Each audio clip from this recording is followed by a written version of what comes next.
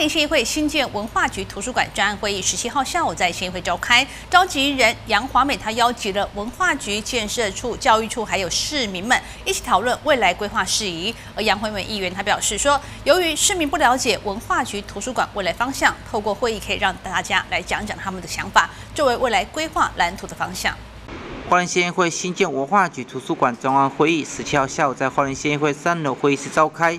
专召集人杨华美、先演徐子芳、吴建志、张美惠、李正文、田云欣、蔡一静，同时也邀集文化局建设处、教育处以及花莲市民共同来听取文化局的规划。经过一个小时的说明之后，在场市民们对文化局规划内容是相当的不完整。就是真的要你要你要改，那你里面的特色是什么？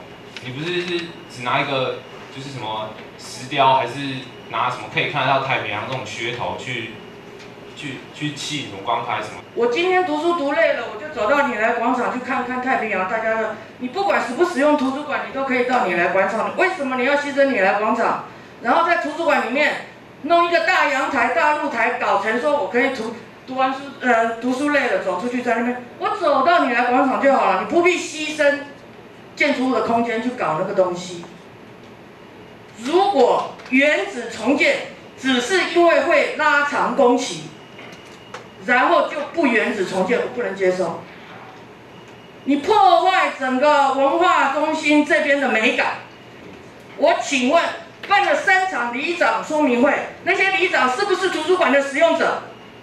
文化中心文化局局长，很抱歉，你怎么没有顾虑到我们使用者？我们才是真的知道我们要什么。还有，请提醒大家，我们今天。终究该书馆，不是艺文中心。加装了窗帘之类的，那就是破坏了整个建筑物，就是它原本要建玻璃的那种用意。所以我觉得玻璃其实有一点蛮没有必要的。而且像如果说假日去读书的话，其实它是会影响我们，然后读书的那个呃读书的感觉啊。那我们可以看到，刚局长提出非常多的图书馆，不管是国内的、国外的，我们去看看他们在这个图书馆的设计空间当中。这个图书馆它用的绝对就是在图书的空间，而不是拿来做有一些展演啦，甚至于是厂商的进驻啦。我们也可以看到厂商进驻这件事情。我们来看看德兴小巨蛋，小巨蛋的一楼就有非常多的空间是过去是规划成所谓的厂商进驻的位置，现在呢，不也都是铁门拉下来，然后里面储藏的是体育场的一些器材。其实，在使用上，过去文化局常常会有开放空间在举行。一些大型重要的文化典礼，那呃文化或是活动的一些典礼，那它会不会影响到民众的使用？这也是我觉得在这个新的空间上需要考量。就是说，我们既然有地下一楼，然后地上三层楼这个规划，那我们是不是不要那么可惜，只有二楼是所谓的这种可能比较安静的适合阅读的空间？召集人文化表示，希望文化局能够符合民意来做好规划的工作。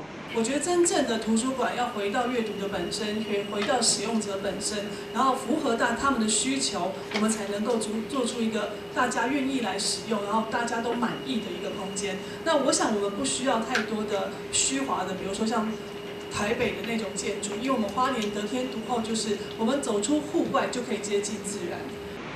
文化局长杨云泉表示，这只是初步的讲法，还是要听取市民的建言来进行修正。未来我们规划的阅读区哦，而且是可以阅读到图书馆关门以后，你还是可以再晚一点哦。我们独立的空间有一千两百个读书空位，所以各位学子哦，我们不用担心哦。这个我们当然还可以再规划更多哈。新疆文化局图书馆预定地将在米兰广场大草皮上，文化局也将在八月二十四号召开公听会来说明未来规划的蓝图。同时也会再一次听取地方的建言，希望透过双方的讨论，共同来孵化出新的图书馆。记得中央华视报道。